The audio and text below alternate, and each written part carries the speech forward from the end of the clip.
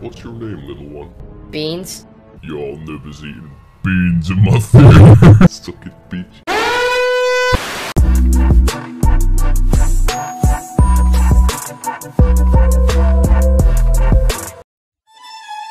Welcome to the most hype, boneless, juicy, meatiest video on the internet.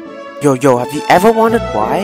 The determinative amplitude of n equal 4 supersymmetric theories, which led to re-examination of multi-loop n okay, I'm joking. I'm joking! Stop! Stop! Stop! Okay, let's be real. You normally all heard of the things called trigonometry before, yeah.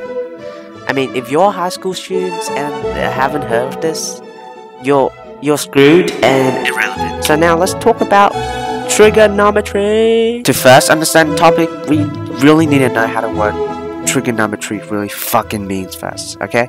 The trigon is triangle and the metry is measure, so literally translate to measuring fucking triangles. Good. Okay, so far? Alright, so there's two definitions of the trig. The trig ratios or the unit circle. I'll focus on the circle definition, okay? Because you know, I like circles and holes. Suppose we have a circle, okay? Suppose we place the circle around a center of a graph, and the radius of it is 1. Let's give a name theta to the angle of this line right here.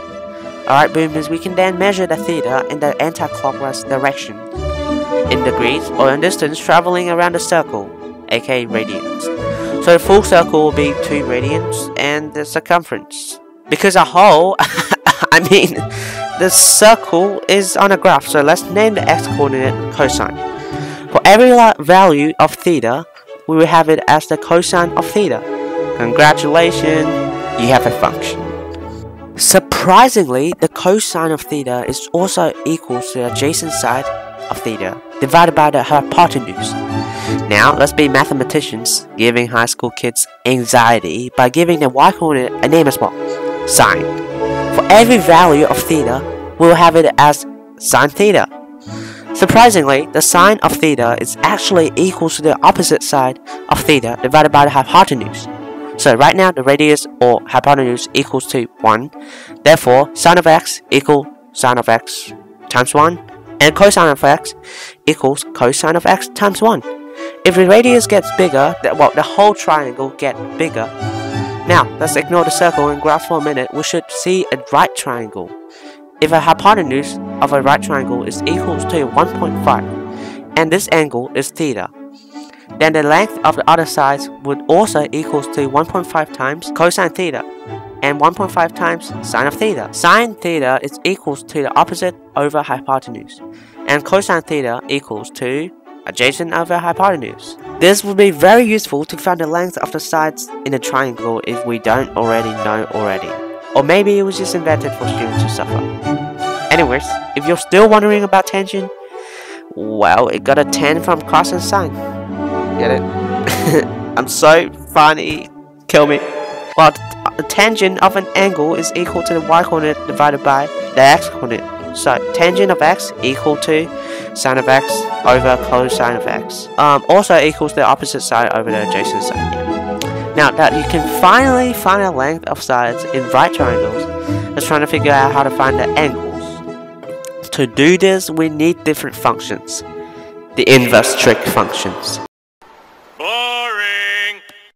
So to find theta, the angle you will need to um, multiply sine by opposite over hypotenuse or multiply cosine by adjacent over hypotenuse or multiply tangent by opposite divided by hypotenuse. Yeah, yeah. Rewrite this and you will have three functions to find theta. Sine to the negative 1 times opposite over hypotenuse. Cosine to the negative 1 times opposite over hypotenuse.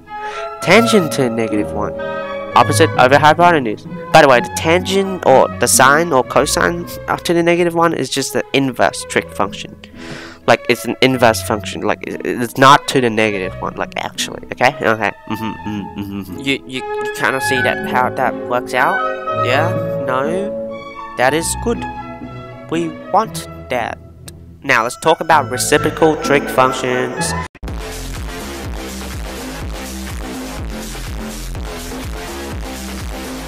It is basically the opposite long lost twin of the odd versions, okay? So the cosecant is the reciprocal identity of sine. Secant, that of cosine and cotangent is the reciprocal version of of tangent, yeah, yeah. Sine and cosine are complementary angles. Yelling! In right angle triangle, uh, what do you see? You see a fucking right angle. Sorry, anyways, therefore you can derive that 90 plus angle plus another angle equals 180, right? Thus, we have the following angles 90 theta and 90 minus theta. Uh, now, here's the cool part. See how sine of one acute angle describes the exact same ratio as the cosine of the other acute angle? Well, this means the sine of theta equals to the cosine of 90 minus theta. Pythagorean identity. This is a formula derived from Pythagoras and it shows that sine squared of theta plus cosine squared of theta equals to 1. Great. So what happens if the triangle is not right? Okay. Well, how do we find the angles and sides in that? So there comes the law of cosines and sines. Sorry folks, unfortunately I don't have time for math because I got some real problems to worry about, yo. You know, I gotta practice running terms, so I'm off the wall with terms. I'll talk more about law of sines and cosines later on the next video. Howdy boy.